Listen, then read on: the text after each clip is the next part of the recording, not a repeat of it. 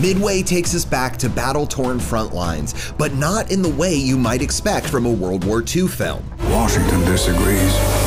Washington is wrong. On this IMDbrief, we break down how director Roland Emmerich and writer Wes Tooke blend historical accuracy with a little Hollywood magic in Midway. And I want people to watch this movie and say that couldn't have happened and then go back and see that it did and then start to process what these people went through. Screenwriter Wes Tooke steers the storytelling on Midway by sticking as close to the facts as possible.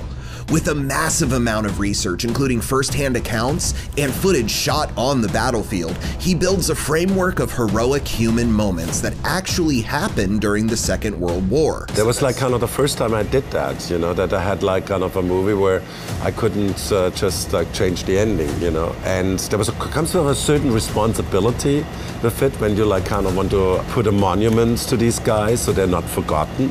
Director Roland Emmerich has a pedigree in planetary destruction, blowing the doors off Hollywood with blockbusters like The Day After Tomorrow, Independence Day, and 2012.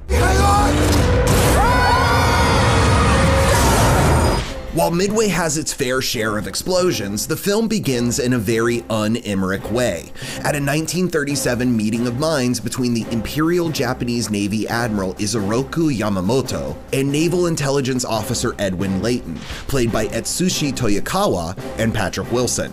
The scene adds context to how Japan and the US would first lock horns on December 7, 1941.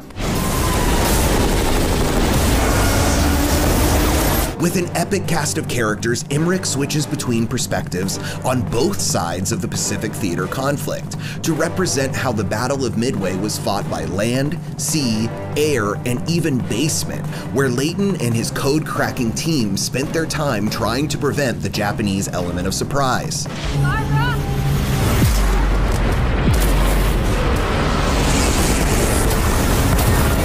Mandy Moore plays Anne Best, the wife of a daring dive bomber who's stationed at Pearl Harbor, and a symbol of America's home front, left shocked and awed by that day which will live in infamy.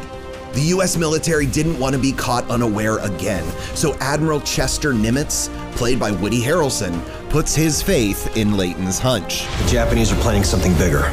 So what's the target? We believe it's Midway.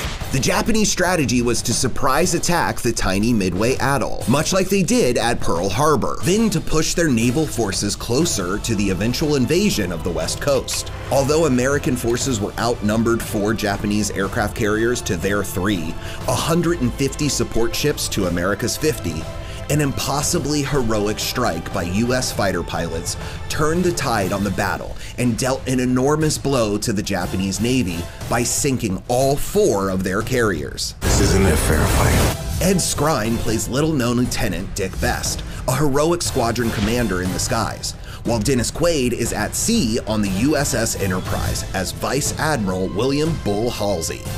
Well, I'm a student of history, so I knew a lot about Bull Halsey before I, I, did this film. Since the actual Midway Atoll is only about two square miles of land with another 23 miles of lagoon, not much of the battle could be fought on the ground. But a certain Hollywood legend was there on land with a camera in his hand. Well, I think any good director would do that. Commissioned as a commander in the Naval Reserve, six time Oscar winner John Ford directed documentaries, training films, and straight up propaganda for the U.S. military. You can't fool me with that star studded front of yours. With over two decades of directing experience, a pair of masterpieces under his belt, and pushing 50 years of age, Ford seemed like an unlikely candidate for the front lines. But when the Secretary of the Navy and the Secretary of War asked him to film Pearl Harbor after the devastation, he went. Then he unknowingly hopped a destroyer to Midway just in time for the Japanese to attack. Ford was injured in the fray, or as he put it, knocked me goofy for a bit, by a Japanese Zero that bombed a bunker near where he was shooting. The moment is caught on film and included in his Oscar winning 1942 documentary short, The Battle of Midway. Back at Midway, Tojo swore he'd liberate the natives. Let's just as free as they ever were. Emmerich and Tooke reference Ford's doc while researching the script and include a nod to its influence by recreating the heroic and historic moment for Midway. The line he says is a real line. He said, I think I've been hoodwinked. You know, I, don't- I don't think that anything's gonna happen here. And they said, actually, the way we're fortifying this place, I'm pretty sure something is. It's a little bit like my nods to Apocalypse Now. I didn't put myself into the movie, but like uh, I put John Ford in the movie, and he was in Midway during the attack and got injured. Can you imagine that? Ford got his shot while Emmerich and Tooke got their homage to old Hollywood, wrapped in the real history of Midway. For more trending tales, stay glued to imdb.com slash imdbrief. How did you shoot that? With a camera.